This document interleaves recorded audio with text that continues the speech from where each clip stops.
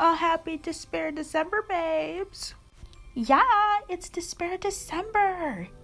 Because I don't really care about that hopeful holiday stuff. They could totally keep that, because, you know, it's that sweet despair that I'm looking for. And I see it within you. So, babes, I was thinking to celebrate Despair December. I say we go out and cause despair. How does that sound? Sounds fun, doesn't it? Yeah, it surely does. So let's go. Oh, wait, before we go, just let me go change real quick because I want to look really good for this special occasion. After all, it is Despair December. So I'll be right back, babes. Alright, I'm back. How do I look? Do I look despairful enough for you? Oh, I do.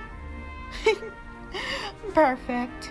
And you look very despairful. So we're ready to go. Let's go spread some fun despair.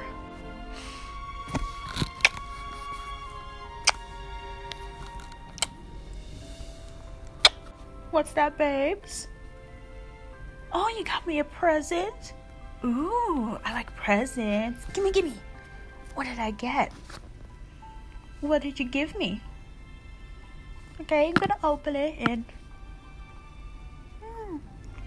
Oh, very despairful indeed. You got me earrings to go with my clips? Oh, you truly are the best. And oh my god, is that a necklace to go with it all? Wow! You truly fill me with that beautiful despair, listener. I love it so much. You looked really cute the first day I saw you, but I was afraid that you'd be one of those hope obsessed little faces just like the rest. However, you're not. I see a good amount of despair in you, and so that really got me interested and wanting to date you. You know, listener, I made a really good decision as to take you for my prize after I won the killing game. You just have this look of despair in your eyes, and I absolutely love it. And it looks like you love it too. You just want to feel that despair on your skin, don't you, listener? Well, it seems like you and I have more in common than I first thought. And surprisingly, you managed to keep my interest up. Like, for real. Oh, wait. First things first. Princess? Yes, Junko? Hey, you know it's Despair December, right? Of course, my queen. I know. Well, we're thinking of celebrating it somehow. Well, um, there's been a recent shipping of fire starters. Maybe you can use those. Ah, perfect. All right, princess, you may carry on with your work. Okay. You have a nice day. All right, babes, you heard that? Let's take these explosives and then spread some despair. You know, you're one of the most interesting people I've ever met. Honestly, just about everybody else is kinda getting a bit boring to me, but you, you managed to keep my interest all this time.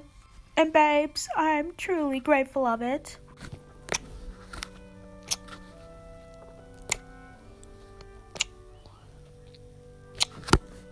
Doesn't the feeling of despair just feel so wonderful?